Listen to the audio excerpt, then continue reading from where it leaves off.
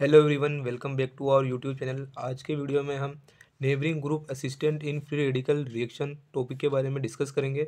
तो बेसिकली इस टॉपिक में हमको ये देखना होता है कि जो हमारा एल्किल हेलाइड है, उसका जब हम हेलोजिनेशन कराते हैं तो कौन सी पोजीशन पे सब्सटीट्यूशन होता है और जो अटैकिंग ग्रुप होता है कौन सी पोजीशन पे जुड़ता है, ठीक है? तो सबसे पहले हम लैंग्वेज समझेंगे और उसके बाद हम डिस्कस करेंगे कि इसका मैकेनिज्म किस टाइप से होता है।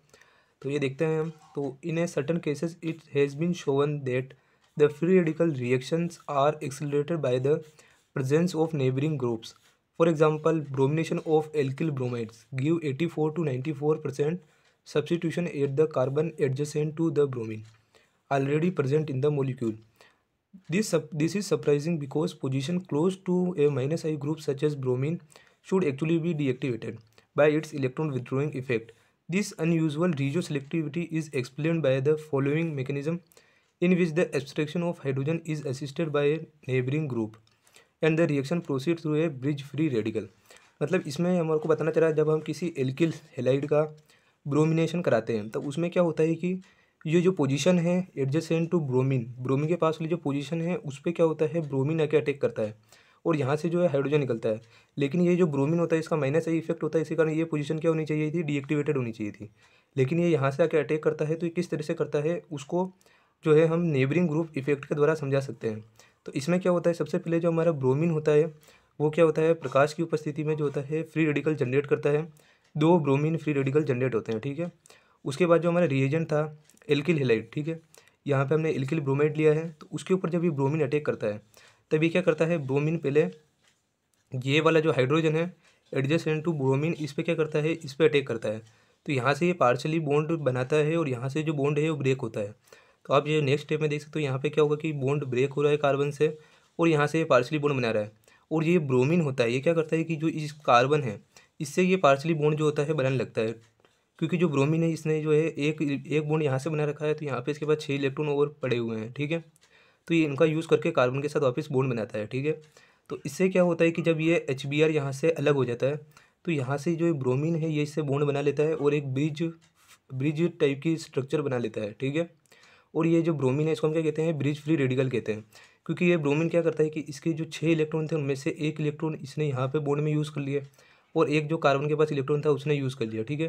तो जो इसके इवन इलेक्ट्रॉन थे, वो ओड हो गए और इसके पास एक जो है अनपेड इलेक्ट्रॉन और बच जाता है। और यहाँ पे क्या होता है कि जब वापस हम इसकी रिएक्शन ब्रोमीन के साथ कराते हैं, यहाँ पर कभी कभी यहाँ पे हम ब्रोमीन फ्री रेडिकल भी ले लेते हैं तो क्या होता है कि जब ये ब्रोमीन फ्री रेडिकल अटैक करता है तो ये यहाँ पे अटैक करता है, तब यहाँ से जो इलेक्ट्रॉन है, इसका होमोलेटिक क्लीवेज होता है तो एक इलेक्ट्रॉन यहाँ पे चला जाता है और एक इलेक्ट्रॉन वापस यहाँ पे आ जाता है। तो यहाँ पे एक इलेक्ट्रॉन आने से और ब्रोमिन फ्री रेडिकल के पास जो एक इलेक्ट्रॉन है, उसे क्या करता है, ये बोन बना लेता है और यहाँ पे जो है आ जाता है। और ये जो है ब्रोमिन वापस ये जो है इलेक्ट्रॉन इसके पास आ जाता है और ये इधर से अलग हो जाता है। और इस तरह से जो है, क्या बन जाता है वन टू डाई ब्रोमो जो है बाई प्रोडक्ट जो है फॉर्म हो जाता है। और ब्रोमिन फ्री रेडिकल वापस जनरेट होता है, जो वापस यही रिएक्शन जो है, दोहराता है। तो ये जो मेकेनिज़्म है, ये सब, इसको सपोर्ट किस हिसाब से किया गया था? तो the above mechanism is supported by the fact that as expected is proceed proceed with retention of configuration ठीक है? तो ये रिटेंशन ऑफ़ कॉन्फ़िगरेशन क्या होता है? कि जैसे यहाँ पे जो स्ट्रक्चर थी, अगर ये जो है ब्रोमिन इससे असिस्ट नहीं करता तो ये एक प्लानर स्ट्रक्चर बन सकती थी, ठीक है? जो फ्री रेडिकल की स्ट्रक्चर होती है, जिसमें एस पी टू होता है, वो एक प्लानर स्ट्रक्चर होती है। तो उसमें क्या होता है कि जो अटैकिंग ग्रुप होता है वो आगे और पीछे दोनों तरफ़ से अटैक कर सकता है, ठीक है?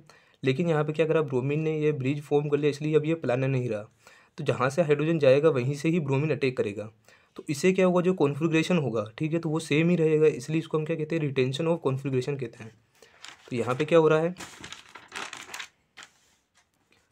Retention of configuration thus photolytic bromination of optically active one bromo two methyl butane gives one two di bromo two methyl butane with retention of configuration तो यहाँ पे हमने एग्जांपल लिया है वन ब्रोमो टू मिथाइल जो है butane तो यहाँ पे वन पे क्या है? ब्रोमो है।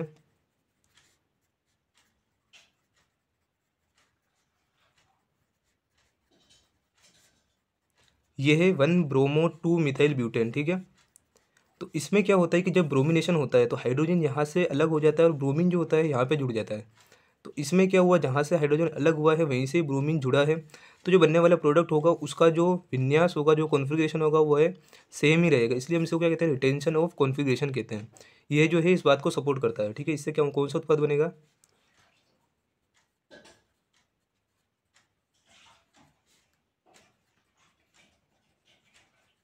और यहाँ पे भी बी आर जुड़ जाएगा, ठीक है? तो ये बनेगा one two di bromo two methyl butane ठीक है?